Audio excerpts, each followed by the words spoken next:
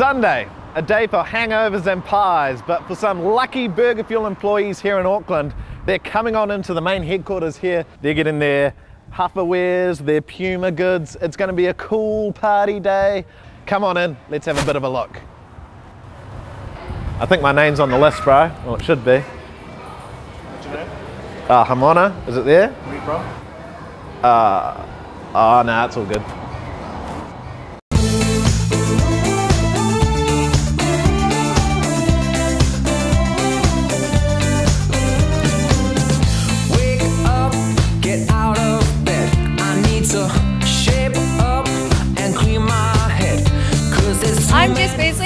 At BurgerFuel head office. Today we are picking and packing the uniform orders for store staff. So I see a lot of numbers. How does the uh, infrastructure of this new uniform uh, sort of work? So each staff member got one of these, it's a uniform booklet, and then they fill out one of the order forms and they come in here today and then they get their new uniforms. Holy!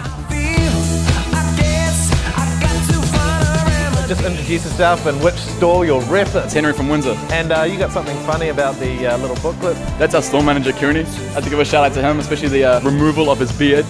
Tell us a little bit about what you're wearing. The um, illicit shirt, of course, which we've got the decal on the back as well. And then we've got the um, the Huffer cutback shorts, the BurgerFuel hat. Yeah, you look very smart, bro. Hit me up top. To sort out.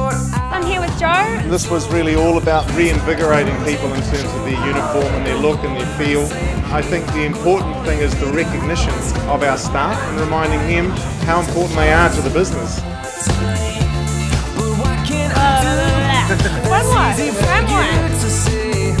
Hi, I'm Steve, co-founder of Huffer Clothing, and we're here today with some exciting jeans. It's a nice raw denim. The men have got like a slimmer jean, and with the girls we have a nice jean and some shorts, and also a men's short as well. So BurgerFuel's very energetic and exciting. It's inspirational for us. I got to find a remedy. Here I'm with Matthew Wallace of Puma New Zealand. Do you just want to run us over what we've got here? We've got the chicks, we've got two options. We've got a got a high cut and obviously a low, sportier um, looking option. Your personal preference there on the girls' shoes? I mean, not that I'm saying you'd wear girls' shoes. I'll probably go for the high cut colours, sort of rep- replicate the colours of BurgerFuel. So, and then for the guys, three low cut options. The guys have been going with a bit, bit of everything, which has been good.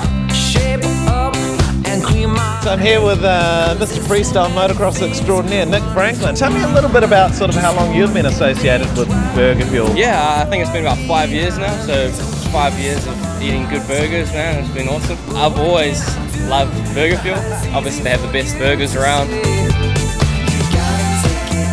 Kush, I'm from Burger and Mount Eden. Yeah, nice. Tell us a little bit about your ensemble. What do you got going on there? And I got the nice purple Puma high tops. I got my mean purple snapback How long have you been working at BurgerFuel for? for 18 months, and I'm now a night shift manager. So Oh, gnarly. Cracking it, yeah. Awesome. Tell us uh, like five things why you pumped on BurgerFuel. I do five, I can do 50, man. I love my staff, my bosses. I love BurgerFuel as a brand. I remember going to BurgerFuel when I was like six years old. Now that I'm here, I'm like, yeah, and just going off, and I love it, man. I love it. Yes, pump. Yeah. Hit me up top. Hit me up top. Feels like I'm losing control. I think I'm going.